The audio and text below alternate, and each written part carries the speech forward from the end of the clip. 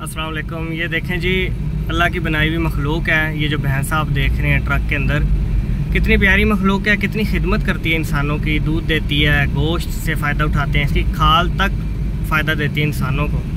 लेकिन जब इंसानों की इनको रेसिप्रोक्रेट करने की बात आती है कि ये इनको क्या दे रहे हैं, इन जानवरों का तो ऊपर छत जो इसकी देख रहे हैं आप, उसको कितनी धूप मिल रही है, लेकिन कोई छाता डालने की जहमत नहीं की ड्राइवर ने। हालाँकि हमारे दीन के अंदर है कि जानवरों का बहुत ज़्यादा ख्याल करना चाहिए।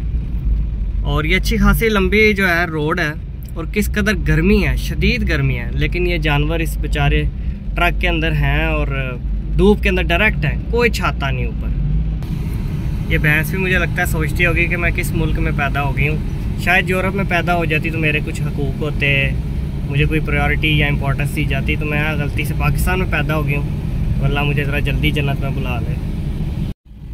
और ये देखें, ये भैंस को बांधा कैसे गया हुआ उसकी नाक जो है, वो बांधी गई है पीछे एक जंगले के साथ ट्रक के। कितना जुल्म है ये, कि वो अपना मुँह ही ना हिला सके और यानी मुँह हिला के वो पीछे ना लेके जा सके, अगर आपको स्क्रीन में नज़र आ रहा है। तो उसका मुँह देखें, कैसे बांधा हुआ है। कितना जुल्म है ये, कितना जुल्म है।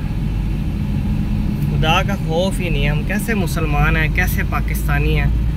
क्या इसका हिसाब नहीं कल को लिया जाएगा कि जानवरों के हकूक़ तुमने अदा नहीं किए? खैर हम तो इंसानों के बेदार नहीं करते जानवरों की तो दूर की बात है।